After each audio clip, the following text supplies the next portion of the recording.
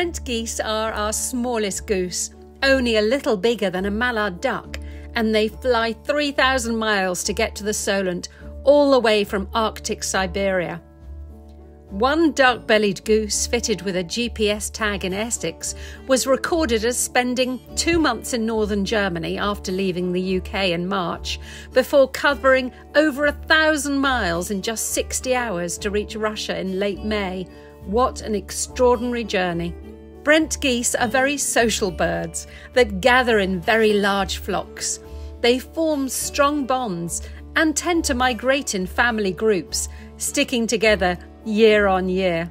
Their backs are grey brown and they have a black neck, head, and bill with just a small white lacy patch on their neck. Brent geese develop their lacy neckband as they mature. In a family group, you might notice the youngsters' neck markings haven't yet started to show. Brent geese eat seagrass. You'll sometimes see them bottoms up in the water, feeding on this tasty plant just like a duck. When the seagrass runs out, they move onto fields to eat the grass.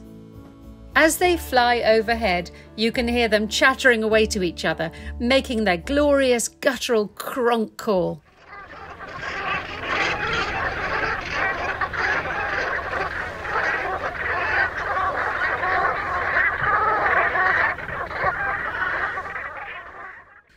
Unlike other geese, they don't tend to fly in V formations. Instead, you'll see streams of them ribboning across the sky. Brent geese are often mistaken for Canada geese, as this species is also black and white with a white band on their neck.